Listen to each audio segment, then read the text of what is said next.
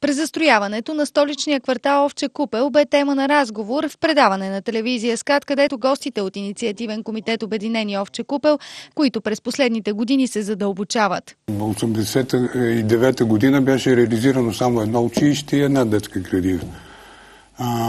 Към днешна дата все още, въпреки увеличаване на броя на обитателите, в комплекса имаме все още само едно училище и една детска градина. В момента има в строителство нова детска градина, втора, но предвижданията на плана, който е действащи от 1989 година, са се предвиждали три училища и шест детски градини. Този дисбаланс, тази диспропорция на нещата доведоха до а, така, един а, сравнително дискомфорт на обитаване, бих казал, в комплекса. Хората излизаха на протести вече няколко пъти. Последвало предложение за промяна, според което ще започне преструктуриране на квартала.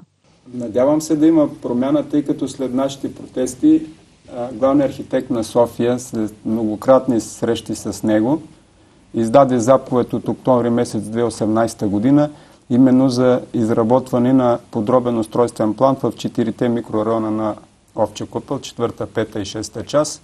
Но вече в продължение на една година, последната сбирка беше на 28 януари 2019 година, няма движение по този въпрос. Ние очакваме главният архитект и колектива, който изработва този подробен строителен план, да ни предложат вече този план, за да може да мине общественото обсъждане. Хората се надяват на промяната, защото по този начин ще се осигурят необходимите за живеещите обществени пространства и адекватна инфраструктура.